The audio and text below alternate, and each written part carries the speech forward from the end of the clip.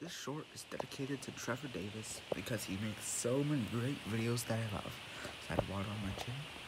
So, in so in the thought of that, thanks Trevor for making so many good videos.